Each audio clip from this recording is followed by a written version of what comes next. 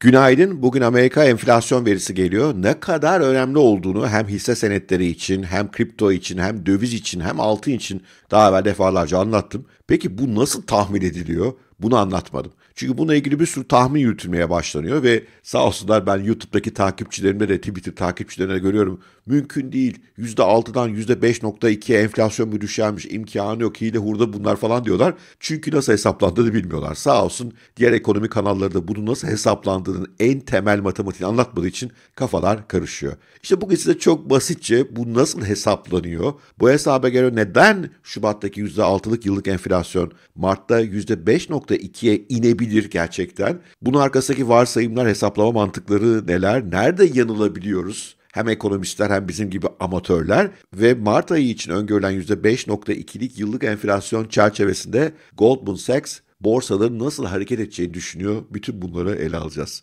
Bu tip hap videoları yapmayı seviyorum çünkü hepimizin finansal okur yazarlığının gelişmesi gerekiyor. Hazırsanız başlıyoruz. Ekranda Amerika Birleşik Devletleri'nde enflasyonun gidişatını görüyorsunuz. Haziran 2022'de %9.1 ile zirveyi yaptı. Oradan beri aşağıya doğru gidiyor. Fed'in faiz artırması şuralarda başladı. 7.5-7.9'lardayken buraları es geçti. Bu kadar net bir artışı Covid sonrası para basma döneminde enflasyonun geçici olduğunu düşündü. Şuralarda işte panik yapmaya başladı. Faizler acayip sert arttırdı ve şu anda hem Amerikan ekonomisinin küçüldüğünü görüyoruz hem de enflasyonun %6'ya doğru indiğini görüyoruz. Şimdi haklı olarak diyeceksiniz ki hocam bu geçmiş veri bize gelecek tahmini nasıl yapılıyor onu göster. Öncelikle yapılan bütün tahminlerin aslında ekonomistlerin kafasından çıktığını bilmekte fayda var. Burada ne yapılıyor? Ünlü ekonomistlere gidiliyor. Büyük kurumların ekonomistleri bunlar.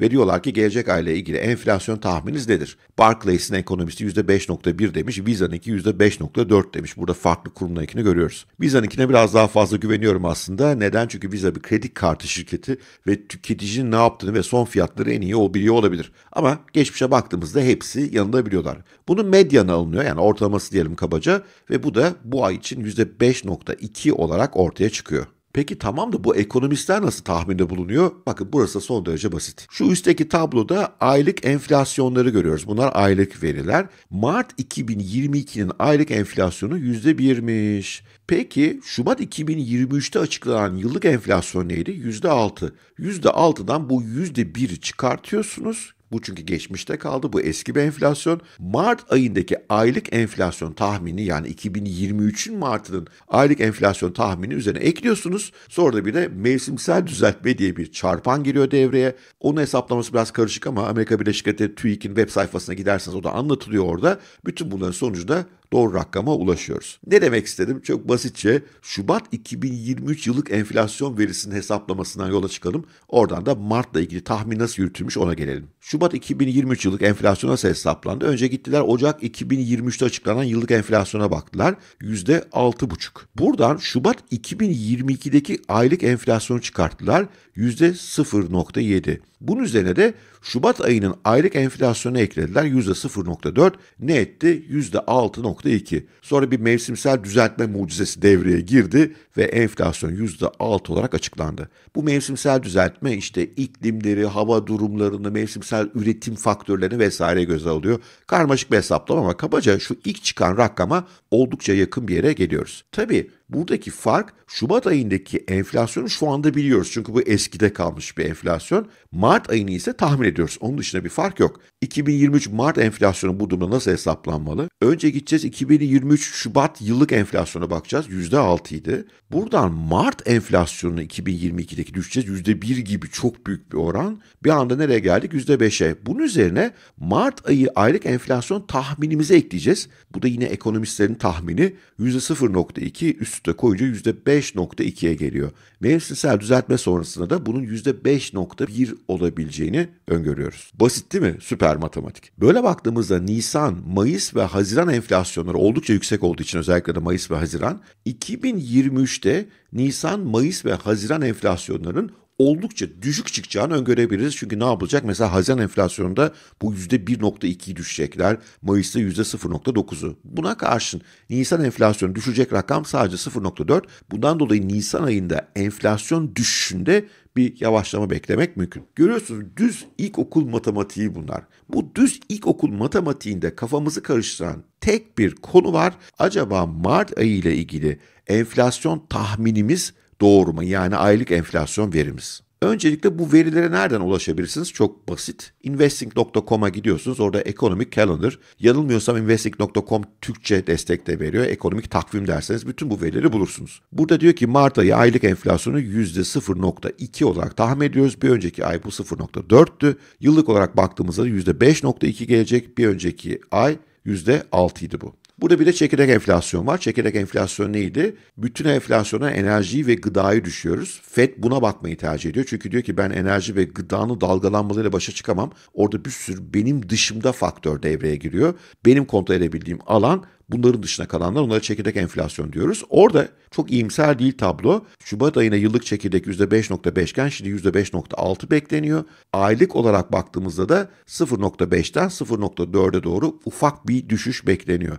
Bu bugün korktuğumuz verilerden bir tanesi çekirdekle manşet yani şuradaki enflasyon arasında çok büyük fark varsa piyasa bunu kötü değerlendirebilir. Ama öncelikle tabii adı üzerinde manşet enflasyon manşetlere düşecek. Burada enflasyonla ilgili bir küçük bilgi daha vermem gerekiyor. Madem biraz eğitim videosu yaptık. Enflasyonun temel çarpanları neler? Çünkü enflasyon aslında bir sepet. Yani tüketicilerin tükettiği pek çok ürünü bir sepete koyuyorlar. Onların fiyatlarındaki değişimlere bakıyorlar. Ve tabii hepsine farklı çarpanlarla bakıyorlar. Mesela diyorlar ki gıdanın etkisi %13,5 civarında. Niye? Çünkü gıda insanlar için vazgeçilmez. Doğruda enerjinin etkisi %7 0,07 olarak gözüküyor. Bunlar çarpanlar. Bunların dışında kalan faktörler aslında enflasyonun %79'unu oluşturuyorlar.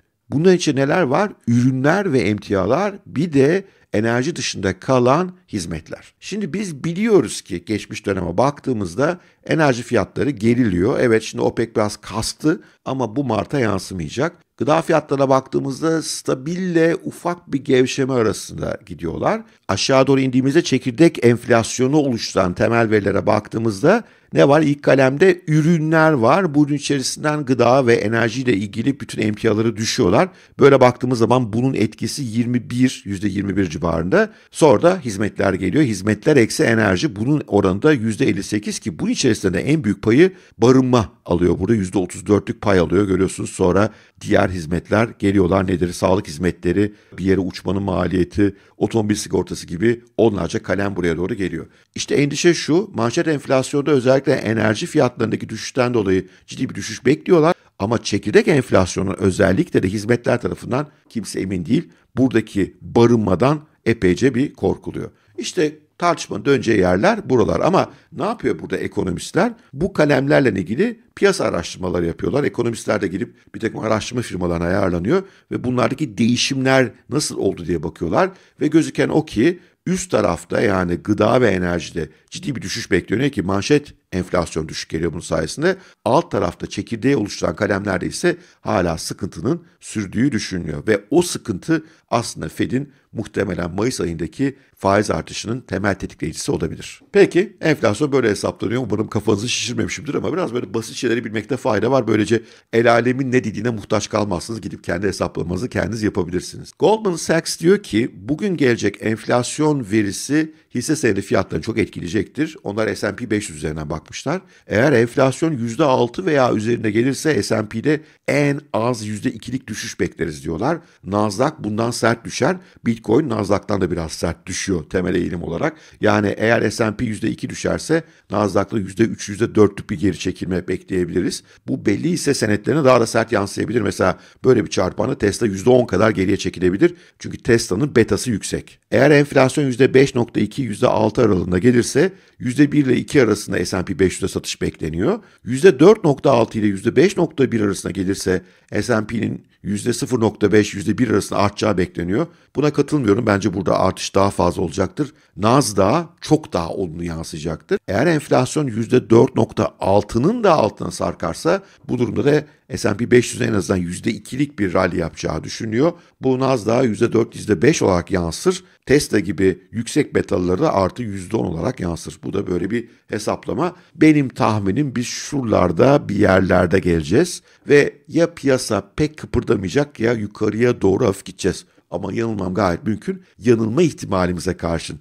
portföyünüzde ne yapmanız gerekiyor? Dün anlattığım videomda umarım onu yapmışsınız. Bugün maalesef enflasyon verisi geldiğinde dışarıda olacağım. Canlı bir yayını yapmam mümkün değil. Ama eğer önemli bir takım şeyler görüyorsak onlarla ilgili kısa bir videoyu gün içerisinde paylaşmaya çalışacağım. Her zamanki gibi soru ve yorumlarınızı bekliyorum. Bir like çok çok iyi olur. Sevgiyle kalın, hoşçakalın. Görüşmek üzere.